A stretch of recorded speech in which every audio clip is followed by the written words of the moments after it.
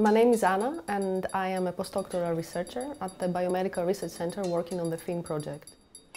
The PHEME project is a European consortium which aims to create a computational framework for the automatic discovery and verification of information.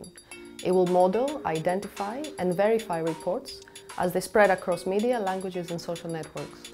And our work here at the Biomedical Research Centre has focused on developing case studies to test this new framework in mental health care by combining social media analysis with electronic health records. For our first case study, we explored novel psychoactive substances, otherwise known as legal highs, and in particular mephedrone. We found that mephedrone users were most likely to be white, male, and in their late 20s, characteristics similar to those of users in the general population. We also noted a spike in the number of times that mephedrone was mentioned in the clinical records, as well as an increase in the number of Google searches related to mephedrone at a time that coincided with it becoming a Class B substance in the UK in April 2010. At the moment, we are analysing historical tweets from 2009 onwards to explore further associations with events occurring in the clinical records during that period.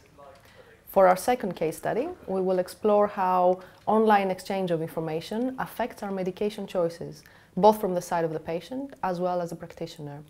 How does it influence our preferences when it comes to medication acceptance and prescription? Our next case study on mental health stigma arises from the significant role that social media have played in diffusing the inaccurate portrayals of mental illness, as well as perpetuating some of the stereotypes associated with mental health disorders. Our aim is to define if and how variations in stigmatizing chatter affect the clinical presentations of vulnerable patient groups. In the same way, we would like to examine the influence increased chatter on self-harm and suicide has on young adults at risk of these behaviors by inadvertently or not promoting or glamorizing them at times. PHEME's automatic detection system will be able to provide services with daily alerts of issues that are likely to be raised by patients. As a result, clinical practice could then be revised earlier than it normally would, resulting in more successfully tailored consultations. The identification of healthcare rumours will also improve educational material and awareness campaigns, as well as inform appropriate training for healthcare staff. Our project aims to understand the patient experience before he reaches the clinical rooms and provide early feedback to healthcare staff.